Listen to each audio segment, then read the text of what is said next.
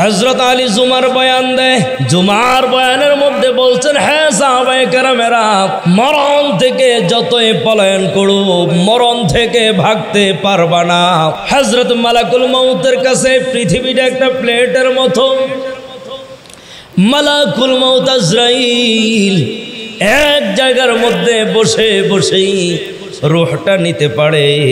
এই ক্ষমতা তাকে দিছে কে? জোরে এই মরণ তোমার কপালের মধ্যে বাধা।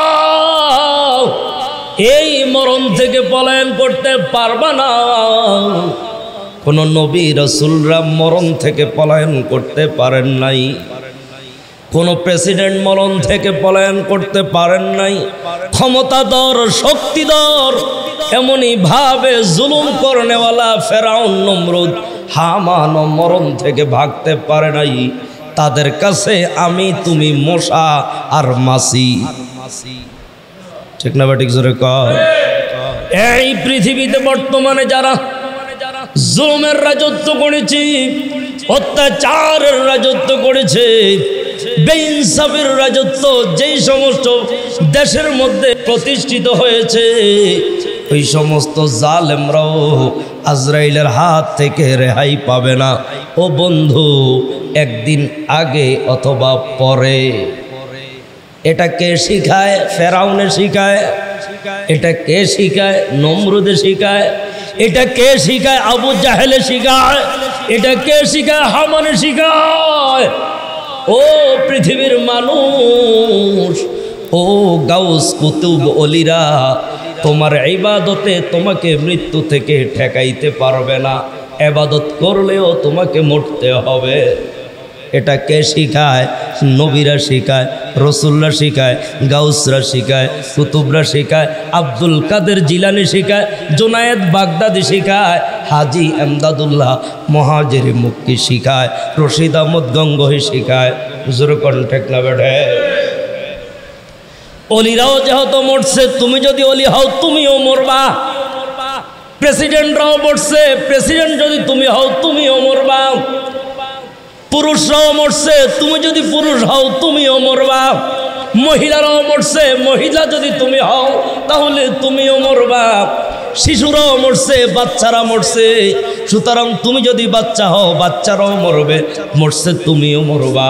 এই জন্য আলী ডাক দিয়া কয়, জমিনের মধ্যে যখন আসছ, তোমার কপালের মধ্যে মরণটা বাধা। মৃত্যুটা তোমার কপালে বাধা। একদিন আগে আর পরে মরণটা আমার তোমার কপালের মধ্যে বাধা। মরণের পরে তোমাকে কবরে ডাকবে, কবরে তোমাকে চলে যেতে হবে গো। আলী এইবার হাদিস শুনাইয়া দেয়, আলী ডাক দিয়া কয়, সাহাবিরার শোনো, আমি রসুলকে বলতে শুনেছি, আল কবরু রৌদাতুম মিন রিয়াদিল জান্নাহ আও হুফরাতুম এই কবরটা কারোর জন্য হবে জান্নাতের বাগান, আবার কারোর জন্য এই কবরটা হয়ে যাবে জাহান্নামের গর্ত। এই কবরটা কারোর জন্য হয়ে যাবে ফুলের বাগান গো। এই কবরটা কারোর জন্য হয়ে যাবে? ইয়ার কন্ডিশনে সিগো আবার এই কবরটা কারোর জন্য হয়ে যাবে? জাহান নামের গর্ত। জীবনে কত ওলামে কারাম বয়ান কইরা তোমারে কান্দাইছে। কত আজমা বিলে বসে বসে কাঁদছ। কান্দা পর্যন্ত শেষ। ওই দিন ফজর নামাজটাও পড়ো নাই। এমন নালায়ক না খান্দাও জমিনের মধ্যে আছে নাকি নাই জরকার? কবর দৈনিক তোমাকে পাঁচবার ডাকে। তিনটা শব্দ কবর ব্যবহার করে।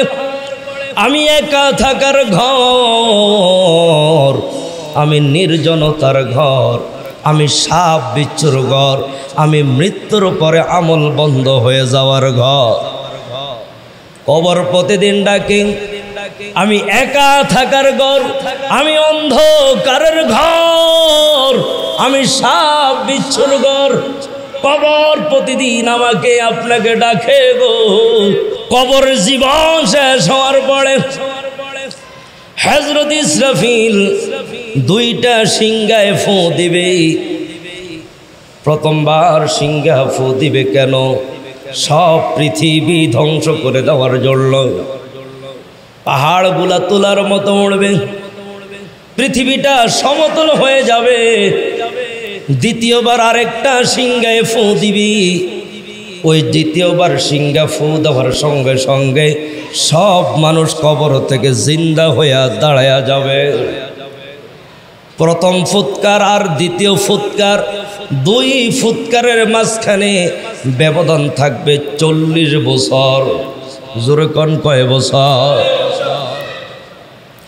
হজরত আলী ডাক দিয়ে কয়, কেয়ামতের ময়দান কায়েম হয়ে যাবে। ও সাবিরা কেয়ামতের ময়দান কি? সেদিন যদি নাকি কোনো বাচ্চা থেকে থাকে, বাচ্চা বৃদ্ধ হয়ে যাবে। সেদিন যদি নাকি কোনো বৃদ্ধ থেকে থাকে, বৃদ্ধ বেহুশ হয়ে যাবে। সেদিন যদি কোনো দুধ পান করানেওয়ালা মা থাকে ওই দুধ পান করানোওয়ালা মা সন্তানকে দুধ পান করার কথা ভুলে যাবে।